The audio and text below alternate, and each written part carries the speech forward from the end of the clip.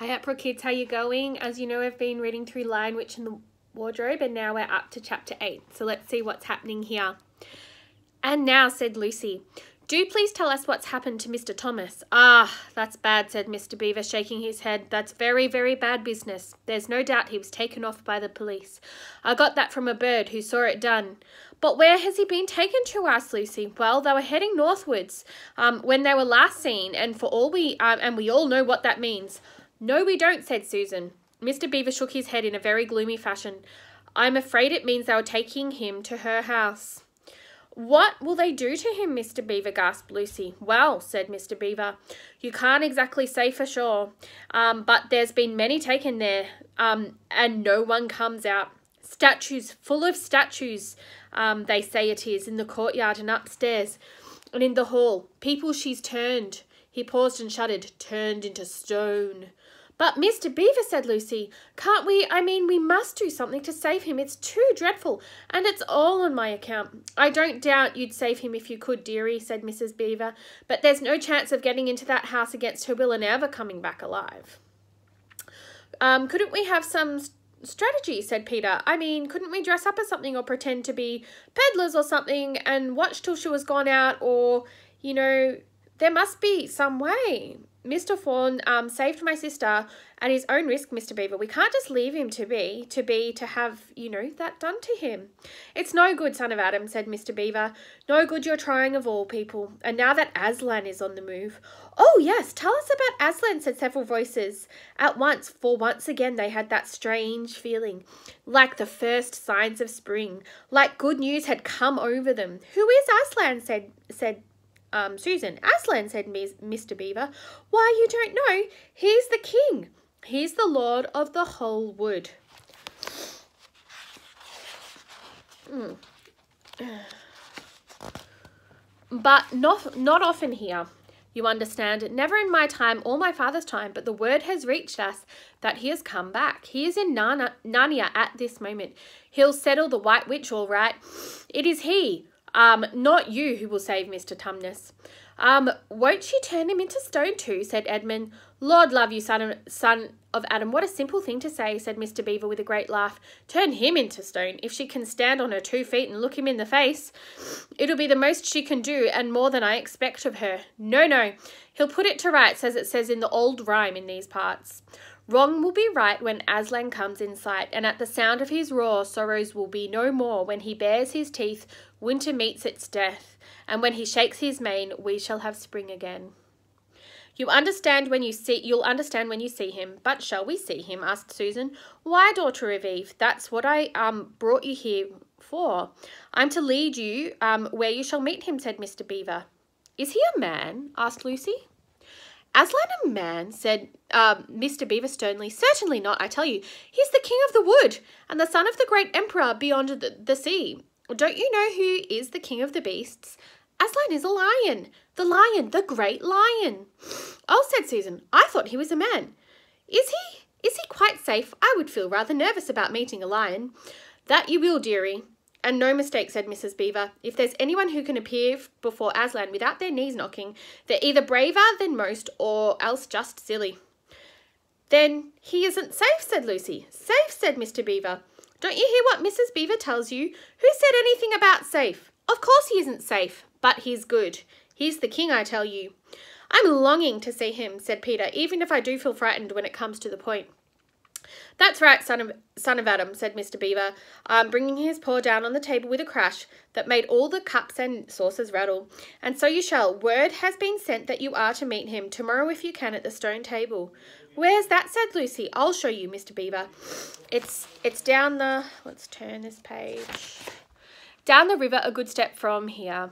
I'll take you to it. But meanwhile, what about poor Mr. Tumnus? said Lucy. The quickest way you can help him is by going to meet Aslan, said Mr. Beaver. Once he's with us, we can start to begin doing things. Not that we don't need you to, but there's another of the old rhymes. When Adam's flesh and Adam's bones sits at um, Cair Paravel on the throne, the evil time will be over and done. Oh gosh, just a minute. I have just lost my page. Hmm. So things must be coming, um, drawing near to the end now that he's come and you've come. We've heard of Aslan coming into these parts before, long ago. Nobody can say when, but there's never been any of your race here before. Um, that's what I don't understand, Mr. Beaver, said Peter. I mean, isn't the witch herself human? She'd like us to believe it, said Mr. Beaver. And it's on that that she bases her claim to be queen. Um, but she's no daughter of Eve. She comes of your father Adam's. Um, here, um, Mr. Beaver bowed. Your father's Adam's first wife. They called her Lilith, and she was one of the jinn. And when she came from, um, um, that she comes from on one side, and on the other she comes from giants. No, no, there isn't a drop of real human blood in the witch. That's why she's um bad all through, Mr. Beaver, um, said Mrs. Beaver. True enough, Mrs. Beaver, replied he. There may be two views about humans, mean, meaning no offence to the present company, but there are no two, two views about things that look like humans and aren't. I've known good dwarfs, said Mrs. Beaver. So, so have I come to think of it, said her husband, but precious few, and they were the ones least like men. But in general, take my advice when you meet anything that's going to be human and isn't yet, or used to be human once and isn't now, or ought to be human and isn't, keep your eyes on it and feel for your hatchet. And that's why the witch is always on the lookout for any humans in Narnia. She's been watching for you this many a year, and if she knew there were four of you, she'd be more dangerous still. What's that got to do with it? said Peter. Because of another prophecy, said Mr. Beaver. Down at Cair Paravel, there's the castle on the sea, the coast down the mouth of this river, which ought to be the capital of the whole country, um, if all was as it should be. Down at Cair Paravel, um, there are four thrones, and it's a saying in Narnia time, out of mind, um, that when two sons of Adam and two daughters of Eve sit on the four thrones, um, then there will be the end of not only the White Witch's reign, but of her life. And that is why um, we had to be so cautious, cautious when we came along. For if she knew about you four, your lives wouldn't be worth a shake of my whiskers. And and the children had been attending so hard to what Mr. Beaver was telling them that they had noticed um, nothing else for a long time. Then, during the moment of silence, they followed this last remark. Lucy suddenly said, I say, where's Edmund? There was a dreadful pause, and then everyone began asking, Who saw him last? How long has he been missing? Is he outside? And then they all rushed to the door and looked out. The snow was falling thickly and steadily. A green ice of the pool um, had vanished under a thick white blanket, and from the little house um, stood in the corner of the dam, you could hardly see either bank. Out they went, plunging well over their ankles into the soft new snow, snow and went round the house in every direction. Edmund, Edmund, they called until they were hoarse, but silently falling snow seemed to muffle their voices, and there was not even an echo of an answer. How perfectly dreadful, said Susan. And um, at last they came back in despair. Oh, I wish we'd never come. Um, what on earth are we to do, Mr. Beaver, said Peter. Do, said Mr. Beaver, who was always already putting his snow boots on. Do, we must be up at once. We haven't a moment to spare. Um, we better divide into four search par parties, said Peter, and we'll all go in different directions. Whoever finds him must bring him back here and... Search parties for son of Adam, said um, Mr. Beaver. What for? Why, to look for Edmund, of course. There's no point in looking for him, said Mr. Beaver. What do you mean, said Susan. He can't be far.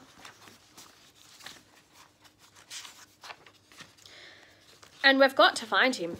What do you mean there's no use in looking for him? Um, the reason there's no use in looking, said Mr. Beaver, is we already know where he's gone. Everyone stared in amazement. Don't you understand, said Mr. Beaver. He's gone to her, to the White Witch. He has betrayed us all. Oh, surely. Oh, really, said Susan. He can't have done that. Can't he, said Mr. Beaver, looking very hard at the three fielding, um, children, and everything they wanted to say died on their lips, for each felt suddenly quite certain inside that this is exactly what Edmund had done. Um, has he been in this country before? asked Mr. Beaver. Has he ever been in here alone? Yes, said Lucy almost in a whisper. I'm afraid he has. And did he tell you what he'd done or who he'd met? Well, no, he didn't, said Lucy. Then mark my words, said Mr. Beaver. He has already met the White Witch and joined her side and been told where she lives. I didn't like to mention it before, him being your brother and all. But the moment I saw his, um, set eyes on that brother of yours, I said to myself, treacherous. He had the look of one who had been with a witch and eaten her food. You can always tell them if you've lived long enough in, in Narnia. It's something about their eyes. All the same, said Peter in a rather choking sort of voice. We still have to go and look for him. He is our brother after all, even if he is a rather little beast. Um, but he's only a kid. Um, go to the witch's house, said Mrs. Beaver. Don't you see that the only chance of saving either, either him or yourselves is to keep away from her? Why, what do you mean, said Lucy. Why, all she wants is to get all four of you. She's thinking all the time of those four thrones at Cair Paravel. Um, once you were all four inside her house, her new job would be done, and there would be four new statues in her collection before you'd had time to speak. But she'll keep him alive as long as he's the only one she's got, because she'll want to use him as a decoy, as bait to catch the rest of you with. Oh, can no one help us? said Lucy. Only Aslan, said Mr. Beaver. We must go on and meet him.